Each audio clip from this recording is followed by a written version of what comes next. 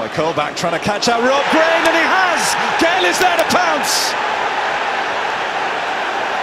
The Championship's top scorer, sensing an opportunity, taking it, but Rob Green will feel that he could and probably should have done better there. Newcastle hit the front.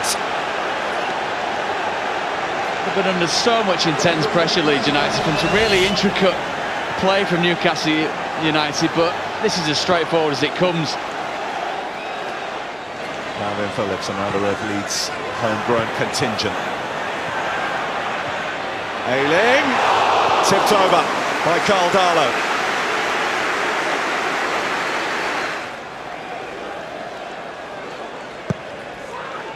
Up towards Wood.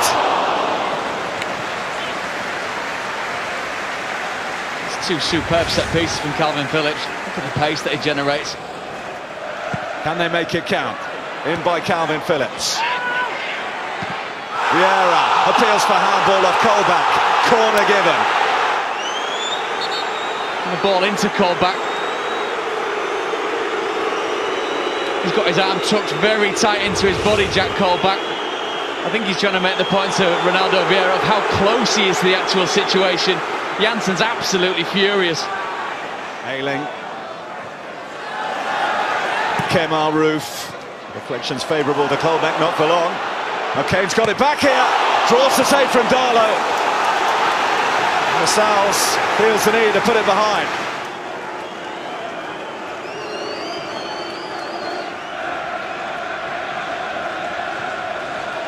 As works it back. It's a beautiful move, which ends up in a second goal for Newcastle United.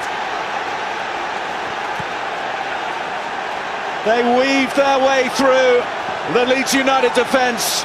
Dwight Gayle just about kept himself on side, and he has his second. That's the quality sting in the tail that Newcastle United do have. Good delivery for the big man in the middle is required, and Sakho. Well, it was Doukara who got his head to it.